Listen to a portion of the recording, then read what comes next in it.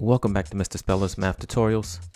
Today we're tasked to find angle theta using the inverse functions of sine, cosine, and tangent. Please stay tuned.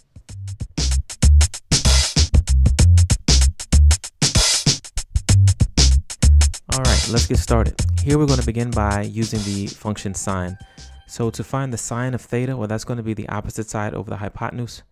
So let's write this here. Sine theta is equal to 6 over 10 in a previous tutorial, we saw that we use the inverse of sine, we use the notation where we have the sine function and we have this negative one notation.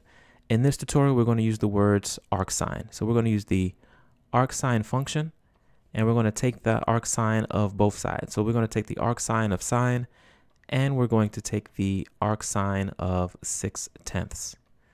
In doing so, arcsine and sine are inverses, so they actually undo each other. So we're left just here with theta. And then we're going to take the, uh, the arcsine of 6 tenths and let's go to Desmos uh, to show that. So here in Desmos, let's type in arcsine. And the fraction that we had was 6 tenths. All right, we're coming with this decimal answer here, but let's make sure that we're in degrees. We're not, we're in radians, so let's switch to degrees. And we see that that's uh, actually a 36.9 uh, degrees. And let's also show the other uh, notation where we use a negative with a negative one. And I just want to show that they're both going to give the same answer. So here we see that, whoops, let's get rid of the extra parentheses, but we see that those parentheses didn't um, change the evaluation. So they're both coming out to be uh, 36.9 degrees. So let's place this here.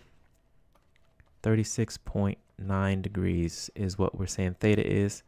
Now let's do the same thing, but let's use a different trig function. Now let's go ahead and use, let's use cosine. So if we take the cosine of theta, well, cosine is the adjacent over the hypotenuse, where that there's going to be 8 over 10. And we're going to use the inverse function of cosine, which is arc cosine. And we're going to take the arc cosine of both sides. So here we have the arc cosine of cosine theta. And we take the arc cosine, oops, left off a C. And we're going to take the arc cosine of 8 tenths. Again, these inverse functions uh, undo each other, and we're going to go back to Desmos to evaluate.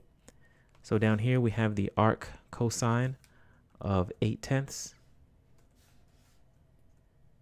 And we see it still came out to be the same. And just and just to be thorough, let's go ahead and use the old notation or the other notation as well so that we can see that they both come out to be the same. All right, and now last but not least, let's go ahead and let's do the um, tangent. So let's switch to this color here, and let's take the tangent of theta.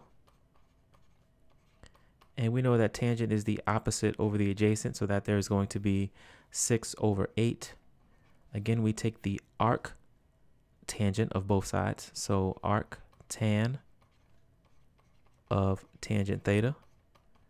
And we're going to take the arc tan of 6 eighths. Again, these undo each other, leaving us with just theta. And we're going to take the arc tangent of 6 eighths. Let's do this here. So arc tangent of 6 divided by 8. And again, we see we come up with the same answer. And let's do it again to be thorough. Let's use the other notation for 6 eighths.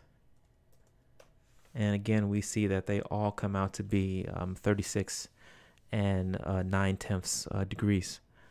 All right, well, that sums up this tutorial. Um, if you like the tutorial, please uh, like it, uh, comment, and share. And as always, thank you for watching.